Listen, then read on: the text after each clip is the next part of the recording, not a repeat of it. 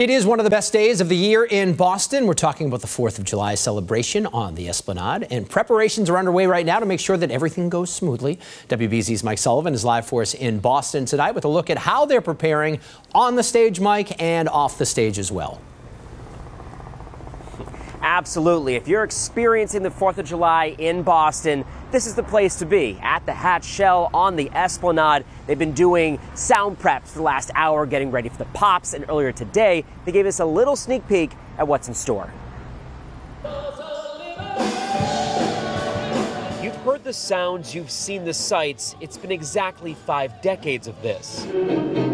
Boston Pops on the Esplanade for the 4th of July, the city's summer rite of passage. Pops conductor Keith Lockhart has done it for 29 years. He finds his harmony within the harmony.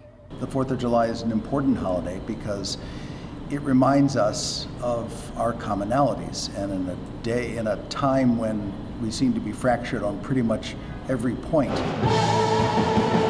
This show will feature the likes of artists like Rock and Roll Hall of Famer Darlene Love famous for her holiday hit, Christmas, Baby Please Come Home, only there won't be Christmas in July.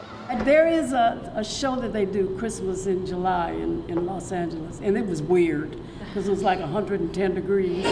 Joining the Pops will be Kelli O'Hara, a Tony Award winner performing her first concert at the Hatch Shell. We started a patriotic song this morning, and it started to bring tears to my eyes for the hope that I have the first time the fireworks will be renamed the Mugar Family Fireworks Show in honor of David Mugar, one of the founders of the show itself. Mugar famously said, You bring the music, I'll bring the fireworks. If you are heading down there, you can also expect a large police presence of in uniform and undercover officers.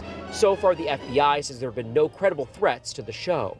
Please do not bring any weapons, alcohol, backpacks, coolers on wheels, cans, or glass containers to the Esplanade. Just bring yourselves. And of course, a little melody.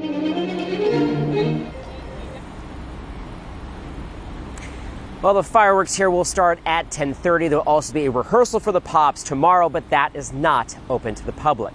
Live on the Esplanade, I'm Mike Sullivan, WBZ News. All right, Mike, thank you so much.